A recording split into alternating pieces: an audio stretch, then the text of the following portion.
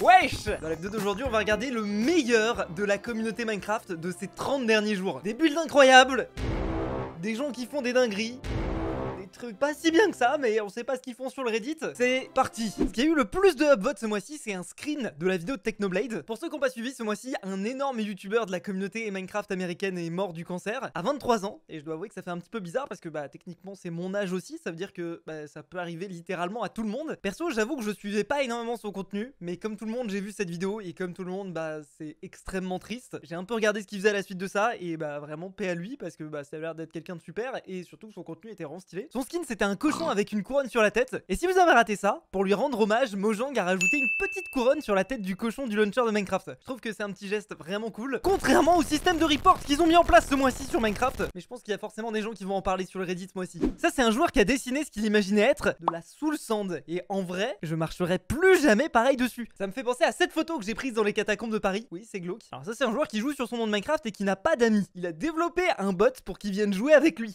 Eh, comment est-ce que ça va aujourd'hui? Je me sens mieux maintenant que tu es là. Ah, je suis content d'entendre ça. Qu'est-ce qui. C'est très glauque en fait. Ouais, le concept est vraiment chelou. Oh là, non, non. Ça c'est un joueur qui a augmenté sa render distance jusqu'à 1024 blocs. Il a utilisé le même mode qu'on avait utilisé dans cette vidéo, ce qui est incroyable. Avant d'avoir ce mode, je pensais que c'était juste impossible d'avoir une render distance aussi grande. Ça rend l'immersion du jeu encore plus incroyable. Mojang a ajouté ça par défaut s'il vous plaît. Plutôt que d'ajouter un système de ban. Ça c'est un joueur qui a construit de la propagande anti-Microsoft. Rejeter Microsoft. C'est vrai que jusqu'ici ils avaient pas trop touché à notre jeu sur la version Java Mais là ils viennent tout gâcher où on peut se report les uns les autres Qui est plein d'abus littéralement. Après Microsoft qui se fait détester, c'est pas nouveau, non, bah non. Là, vous vous dites que c'est un portail du Nether, tout ce qu'il y a de plus normal. Mais non, parce qu'en réalité, c'est un joueur qui s'est amusé à construire une bande de Nether pour que ce soit parfaitement dans l'axe. Ce joueur a remarqué quelque chose de très intéressant dans le launcher de Minecraft. Si jamais vous cliquez dans l'onglet de la version Java, en haut, il y aura marqué Minecraft Java Edition. Mais si jamais vous allez dans la version pour Windows, là, il y a marqué Minecraft normal. Ça confirme ce qu'on sait depuis déjà un certain temps, c'est que la version Bedrock de Minecraft va petit à petit devenir la version par défaut du jeu. Tu resteras toujours dans nos cœurs, Minecraft Java. Au pire, sur Java, il restera toujours Palladium, hein, vous inquiétez pas. Ces joueurs-là jouent entre amis en multijoueur sur un serveur. Et lui, il est mort 199 fois. C'est un peu le bolos du groupe. Je sais de quoi je parle, d'habitude, c'est moi. Pour fêter sa 200ème mort, ils ont décidé de faire quelque chose de vraiment mémorable. Alors, le mec enclenche une cloche, ensuite, il casse le bloc. Pourquoi est-ce qu'il descend aussi lentement? Ok, il tombe dans le void en jetant des carottes. Pourquoi il meurt? Ah, si, là, c'est bon, il meurt, ok.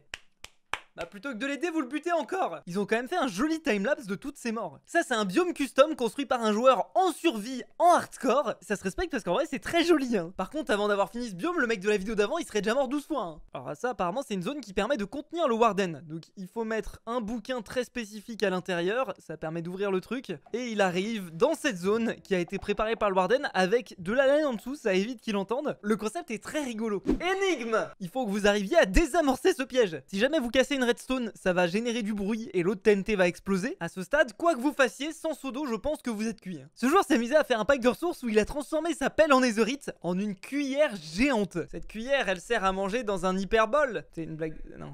Bah, c'est même pas une blague marrante. J'avoue, là vous pouvez m'insulter.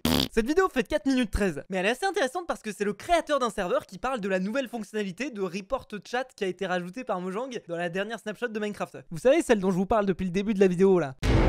Je suis assez d'accord avec lui. Avant, c'était possible d'avoir des serveurs comme 2B2T, qui étaient des serveurs sur lesquels tout était autorisé. Il y avait peut-être quelques horreurs de temps en temps dans le chat. Bon, voilà, voilà, voilà. Mais à la fin de la journée, c'était la personne à qui possédait le serveur qui décidait de ce qui était autorisé ou pas. Là maintenant, c'est réellement Mojang qui décide. Et pour moi, ça va pas trop dans le sens de créativité et de liberté de Minecraft. Je sais pas ce que vous, vous en pensez de ce système de report, mais moi, je suis pas fan en tout cas. Hein. Je sais pas si vous avez remarqué.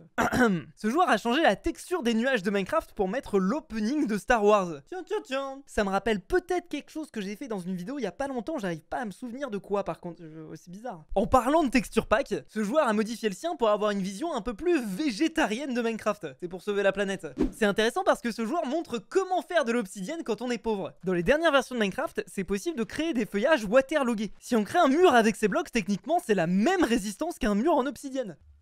Aucun dégât. Je me pose juste la question, est-ce que c'est possible de pousser ça? Non, c'est pas possible de pousser ça avec un piston. Cette vidéo de villageois qui tourne sur eux-mêmes, on dirait presque une secte. C'est extrêmement badant. Mais arrêtez de maltraiter les villageois, bon sang Apparemment, ce joueur a découvert que les zombies ne pouvaient pas traverser les panneaux. C'est assez intéressant, j'étais pas au courant. Ça, c'est un joueur qui a découvert un moyen de rendre des pistons invisibles. Bon, après, c'est sur la version PlayStation, je pense pas que ça marche sur la version euh, Java. Mais bon, c'est pas grave, vu qu'apparemment, c'est plus la version principale. Donc bon, enfin, voilà. Vous sentez le, le somme dans ma voix? Apparemment, si tu casses le bras du piston pendant qu'il bouge, il disparaît, mais en réalité, il est toujours là. J'avoue, ça peut permettre de faire des effets assez stylés. On peut avoir un Under Portal? Oh, mais non, on a déjà un Under Portal à la maison. Là, là, franchement, même Wish, ils auraient pas osé. hein. Après, s'il y a besoin pour de la décoration, c'est toujours ça de prix. hein. Par contre, vous remarquerez que c'est fait avec de l'endstone, donc c'est-à-dire qu'il faut déjà être allé dans l'end pour pouvoir faire le faux portail. À quoi ça sert? Visiblement, ce joueur a trouvé un moyen d'exploiter les allées pour qu'il farme les carottes à sa place. Exploiter les allées, c'est ok. Mais par contre, laisse les villageois tranquilles, frérot, ils t'ont rien fait. 1133 niveaux, je sais pas comment est-ce qu'il en a fait pour en avoir autant. Franchement, 1133, il a... depuis combien de temps il joue en fait? Bref, si c'est bien ce que je crois, le mec qui a fait ça, c'est une dinguerie. Ici, il a un coffre dans lequel il peut faire des dessins avec du sable et du gravier. Là, par exemple, il a fait ce dessin où il nous dit bonjour, aïe en anglais. Ouais, je suis un petit peu bilingue, qu'est-ce que vous voulez? Et quand il actionne le levier, ça va venir imprimer à l'identique sur son monde Minecraft ce qu'il avait mis dans le coffre. On est d'accord, hein à part pour flex, ça ne sert strictement à rien. hein. Je suis désolé frérot, mais t'as passé sûrement des dizaines d'heures à faire un truc qui ne sert strictement à rien à l'humanité. Quoique je retire ce qu'il a dit, il a fait des upvotes. C'est- pas mal, c'est déjà ça de prix. Parfois, je suis un génie, c'est presque effrayant. Alors, on va voir en quoi est-ce que ce joueur est un génie? Là, il se balade dans le Nether, il sort une Underpearl. Il envoie l'Under... Je sais pas où est-ce qu'il espérait l'envoyer. Bah oui frérot, bah oui, non mais... Exactement ça, c'est du génie, mais moi je l'aurais pas fait. Ce joueur a construit une ferme à creeper dans un biome champi. Je sais pas pourquoi est-ce qu'il poste ça, je crois que c'est parce que dans les biomes champi, les mobs ne spawnent pas. J'ai très peur de dire des bêtises, je me souviens, putain ça fait tellement longtemps que j'ai pas joué en survie en fait que là j'ai peur de dire des bêtises. Cette expérience elle est très intéressante. Il y a un joueur qui a mis une centaine de warden à l'intérieur de ce cube en bedrock et il veut voir si jamais ils vont être capables de one-shotter l'Under Dragon. Ok, d'accord, donc là, alors, est-ce qu'ils vont faire leur attaque déjà Ouh.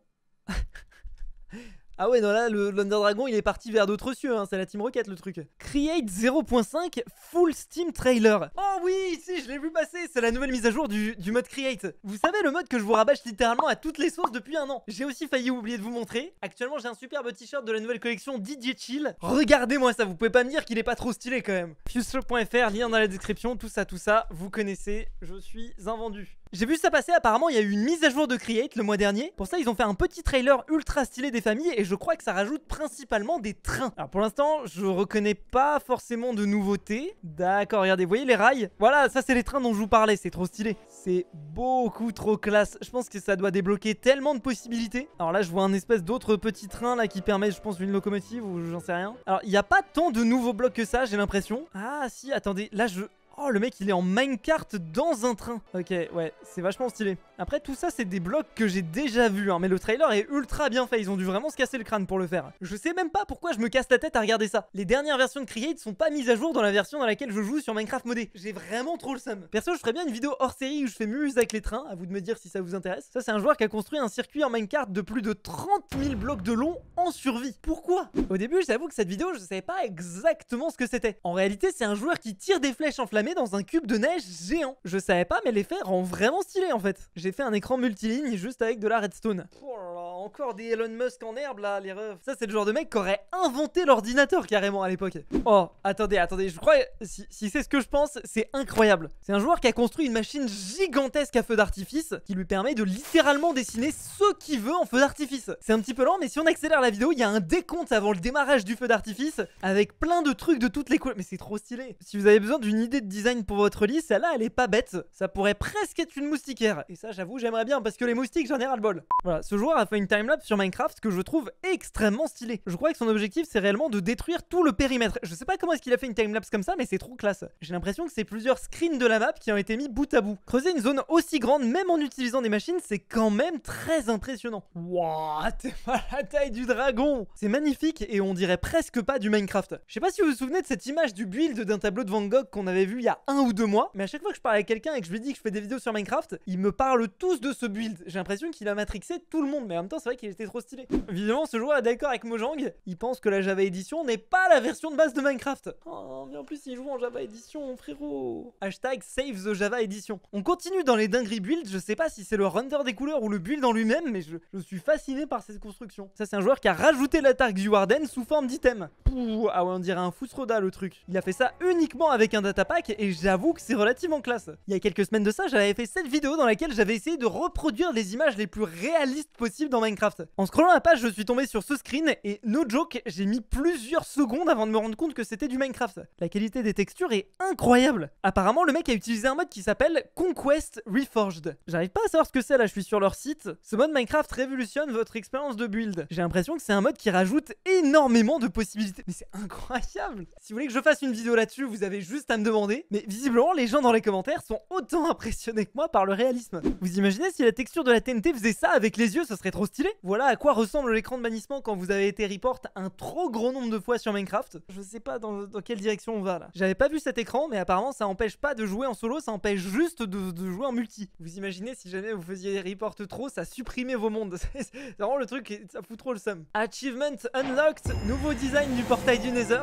Alors, je suis pas sûr que tout le monde comprenne, mais ça c'est un joueur qui a mappé tous les mineshafts de sa map. Le point rouge, c'est le spawn de son monde, et chaque point jaune, c'est un mineshaft. Il a remarqué que la génération des mineshafts était identique des deux côtés de la map, mais que c'était juste mirroré. Ça c'est vraiment une découverte de gros nerd, mais je trouve ça super intéressant. J'ai construit le plus grand coffre-fort de tout Minecraft. Le mec a mis à disposition le lien de téléchargement de sa map, donc je vais directement aller voir. Oh là là, la taille du truc Rien que la taille de l'ouverture de la porte, ça a l'air ouf. Je me suis un petit peu enseigné, je pense que je pourrais littéralement faire une vidéo complète sur ce coffre-fort, un petit peu comme ce que j'avais fait pour la vidéo du Gaia's Vault il y a quelques semaines. Donc si jamais ça vous chauffe, vous me le dites. Sur ce, je pense qu'on a fait le tour de tout ce qu'il y avait à voir d'incroyable dans la communauté Minecraft de ce mois-ci. Si vous voulez pas rater les prochains épisodes, vous savez ce qu'il vous reste à faire. Le pouce bleu, l'abonnement, le coffre-fort. Salut tout le monde, c'était Fuse, à la prochaine, à plus.